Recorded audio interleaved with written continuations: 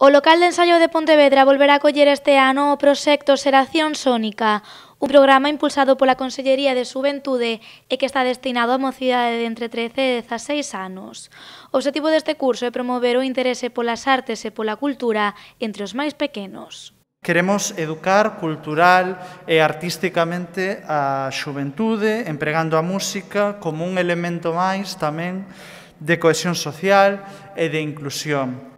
Na primeira edición deste programa, a organización colaborou co Galegote, co Surfing de Lérez e co Culturgal.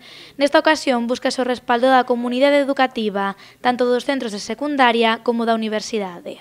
É importante que, que non estemos desconectados. Queremos conectar a xeración sónica coa parte de, da nosas, das nosas facultades. Queremos intentar que, que os alumnos aprendan tamén de alumnos tamén maiores, conectalos coa Universidade de, tanto de Belas Artes, eh, coa Facultade de Ciencias Sociais e eh, de Ciencias da Comunicación.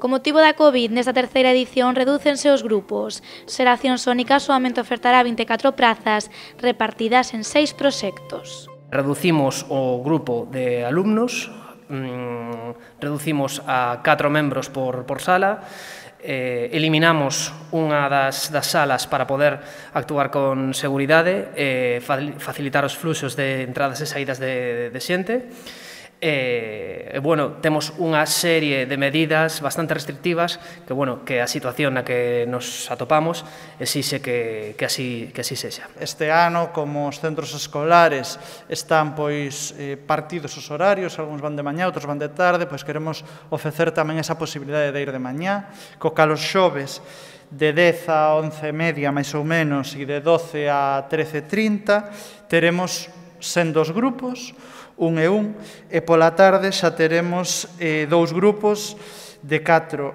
a 5 e media e outro grupo má, e outros dous grupos máis de 6 a 7 e media. Xeración Sónica levarás a cabo todos os xoves no local de ensaio. Todos os que queiran participar poden anotarse xa na web apúntate.pontevedra.gal.